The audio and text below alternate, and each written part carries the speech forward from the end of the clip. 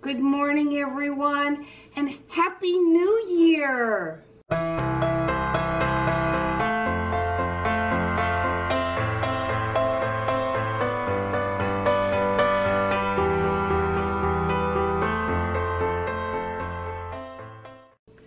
Yep, today is Monday, January 1st. And so, hey, for us, it's the day to start taking down all these lovely Christmas decorations and putting them all away. So that's my plans for the day. And I was wondering, do you guys take them down today or do you wait? I know that there's some people that wait until the, um, I can't remember, maybe the 7th of January. I'm not really sure. But yeah, for me, I just really need to take them down. I need to get my house back in order and be back into my normal routine. So it's always fun, don't you think, you know, getting out all the Christmas decorations, but there comes a time, at least for me, that I need to get things back the way they are normally. So that's what I am going to be doing, and I hope that you will want to join me for my day. I hope all of you have a wonderful New Year's Day, and I'll talk to all of you in just a little while.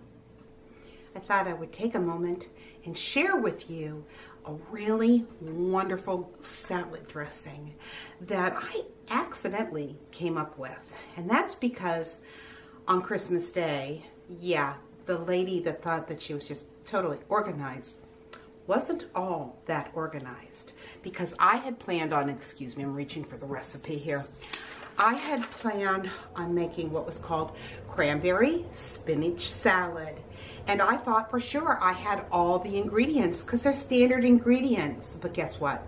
No, I did not. I did not have toasted sesame seeds. I did not have poppy seeds.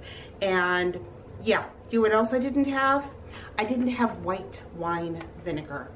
I had raspberry wine vinegar. Yeah. So I thought, okay, I have all this spinach. I bought all these craisins because craisins were to go in it and the slivered um, almonds were to go in it. I mean, it was a wonder, going to be a wonderful salad and here I didn't have all the ingredients. So this is what I came up with and I think it was actually better than the recipe because what I did is I used what I knew I had. So here, I'll show you. I used the same amounts, I just changed what I was, what the ingredients were is what I mean to say. So it called for a half a cup of white sugar. It called for two teaspoons of minced onion, which I have there. It called for a quarter of a teaspoon of paprika. And I have that. But what I didn't have was the white wine vinegar and I did not have the sesame seeds or the poppy seeds. So what I did is I used pumpkin seeds, the roasted flax seeds, and sunflower seeds. And I actually liked it so much that I ended up putting in two tablespoons of each one of those three. So in here is two tablespoons of the pumpkin seeds, two tablespoons of sunflower, and the two tablespoons of the roasted flaxseed. And I went ahead and I put that in there. And it called for a half a cup of olive oil. And you really should use olive oil because it's a nice mild taste. And so just put that in there. And a half a cup of raspberry wine vinegar. And I put that in there. And I just mixed it up. And that's all I did and I put this in the refrigerator and all those wonderful flavors just came together so good. And so I just thought that I would go ahead and share this with all of you. And it really is it's absolutely delicious. And so I'm making this dressing because yeah I want to have it on hand because that's how much I enjoyed it. And so, anyways, I hope that you'll want to try it and enjoy it because I really do think that you'll you will like it. It's going to be good on whether it's spinach, uh, fresh spinach, or lettuce, it, whatever dressing you know you want to put a dressing on. This is really good. Yeah, I'm rambling here, so I'll let you go and I'll talk to you all in just a little bit. For today's scripture, we will be reading from Romans chapter 12, verse 11. Not lagging behind in diligence, fervent in spirit, serving the Lord. It was about 10 years ago at the church that we were attending that the pastor wanted us to learn a new hymn that was called I Am Resolved. And it fast became my very favorite hymn. And I still find myself singing that hymn throughout my day.